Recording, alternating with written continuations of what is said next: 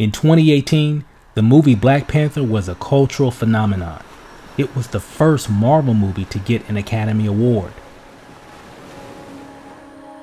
Coming to theaters real soon, the story continues.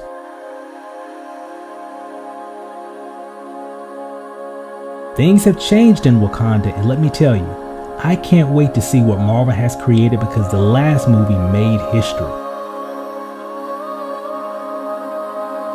I'm excited to see Okoye is back ready to kick some invader ass. Queen Ramonda is back played by Angela Bassett plus many others have also returned.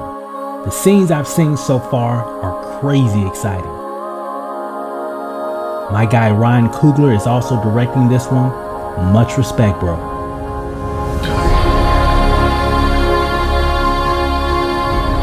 Here's the plot. The people of Wakanda are shocked and confused when King T'Challa is killed, but they still respect the traditions of their ancestors by appointing a new Black Panther. For many years, T'Challa's sister, Shuri, has been in charge of the day-to-day affairs in her brother's absence. The more she gets to know her brother as a person, the more she starts to take on his roles as king.